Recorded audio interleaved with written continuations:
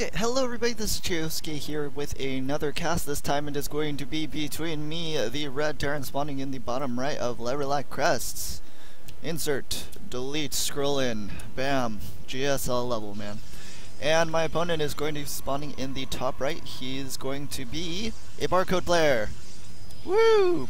Blue Protoss. Okay, so our opponent going to be going for the gas and gateway, so gateway then gas, and then I'm also going to be going for barracks and gas. A very similar type of openings here.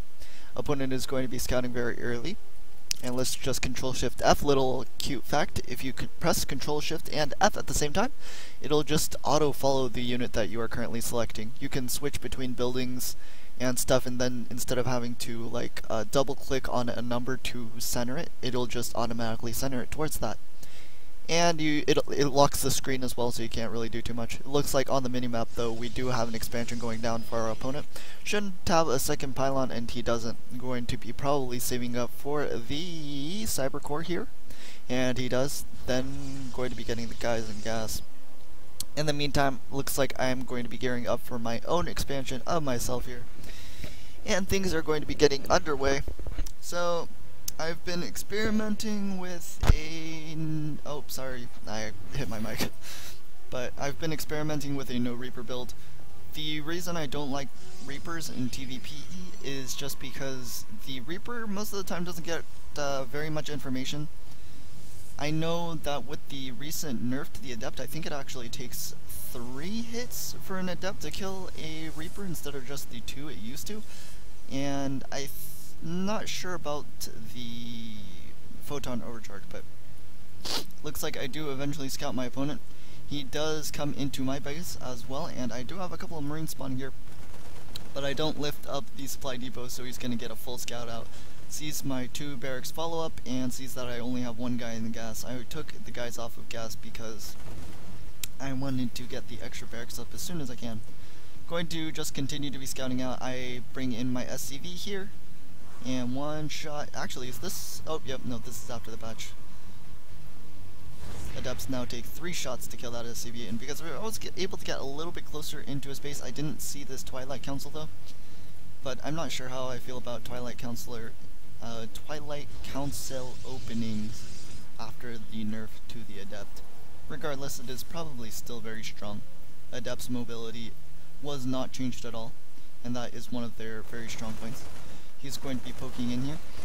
And doesn't kill a marine. I have a couple of marines to defend my SCVs, but uh, he decides to not shade towards my mineral line. Going to be following up with a robotics facility as well, and actually getting Blink doesn't go for the resonating glaives upgrade. I do have a sizable amount of marines here, so I decide to push out, I actually think I go back and since I'm getting concussive shell, I was like, oh, I should probably wait for a Marauder. Back in Heart of the Swarm, there was a very common push that Terran players used to do with a Marauder or possibly two with concussive shells and then just poking up the front. And with the nerf to the Adept and the um, Mothership Core, I figured that the um, Barracks push could possibly do well again, so I wanted to test it out. The build is a little bit off since you start out with more workers obviously and um, everything is just a little bit different. And again I'm just constantly moving around with these marines until I get the marauder up. Once the marauder comes in I think I move out with this attack. Our opponent is going for a war prism. Does he actually get an observer first? It does look like he has one coming directly for our natural expansion. Does he know about our natural? He does. So he feels pretty safe for the moment Mothership core has enough energy for three photon overcharges now, and these two pylons will protect the ramp so I can't run up, but it doesn't protect the mineral line back here. So the War Prism has just finished. He followed up with additional gateways as well. Going to be scouting out my natural expansion, but now you should see that there's really nothing here. I accidentally made a Reaper, and that's 50 gas down the drain. Pretty big mistake to be missing out on, uh, misclicking like that. So I'm going to be running in here, getting a couple of probe kills right off the bat. He doesn't have too many units to defend here, just the mothership core for the photon overcharge and a very small amount of stalkers here. I'm going to be swinging behind his mineral line since I there is not any pylons back here. Going to be killing off some adepts, trying to focus down the mothership core, and I do get it, so he only gets two photon overcharges off. I do see the blink, and I'm pretty happy with the amount of damage we did. I'm also focusing down some probes here as well. And do we get this Stalker? Nope, he's going to be blinking it just in the nick of time. So killed off 9 workers for a lot of army units. And let's see, in terms of army, we are still doing pretty well, but he does have a lot of gateways here. How many gateways? Seven? That is a lot. Going to be warping in a few stalkers here at this pylon, and it doesn't look like this pylon is in range of the Nexus. Does have the observers still on top of my army, and I wanted to expand towards my third base here. I'm not sure how I feel about this follow-up. I just did a bunch of damage, so he's probably either going to be doing a counterattack or trying to macro up. And I did see the blink, so coming in with a huge attack is definitely a possibility. So possibly just throwing this third base in a more secure location like my natural expansion and then floating it to the third base would have been a safer choice for sure. And he is going to be blinking in here, gets the medevac, but I pick off a couple of stalkers here and going to continue to try and poke in these stalkers, get a couple more, but I don't think I'll be able to do too much more damage with these marines. Unfortunately, because he killed off that medevac, I don't have too um, much healing at my disposal. Going to be getting my combat shields, getting my plus one attack. He's going to be getting a couple of sentries. Actually, if you click on the sentries, I don't know where he warped at them, and there they are. In the meantime, I'm going to have my Reaper. Since I did accidentally make it, I was like, oh, this is a good time to check his third base. I would imagine he would expand towards this location instead of this one since it'd be a little bit harder for him to defend. In the meantime, I'm going to be moving out with my army, and I just wanted to go and attack him.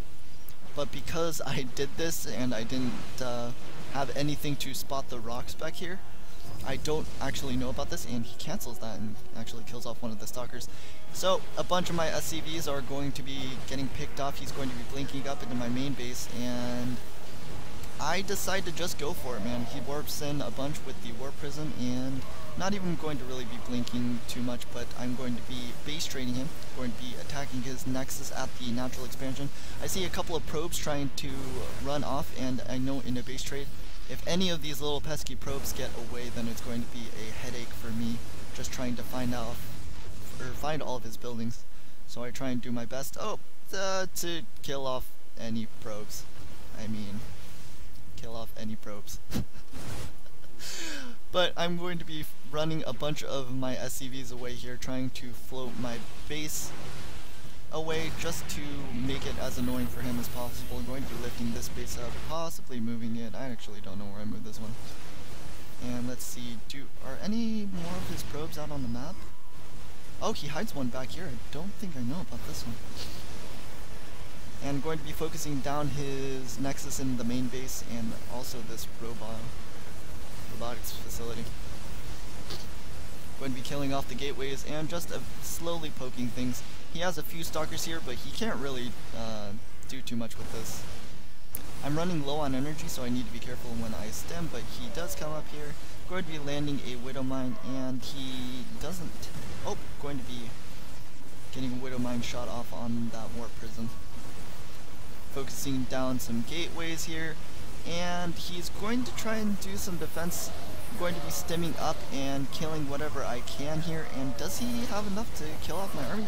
Wow, it does look like the Blink Stalker Micro is going to be enough. And actually, I'm I'm out of I'm out of army. He has a lot of army compared to me, but we have bases, so we have mules and the power of mules, man. So I'm going to be repairing my main base going to be rebuilding some of the barracks, and since we still have these add-ons in the main base, this is going to be a key point of defense.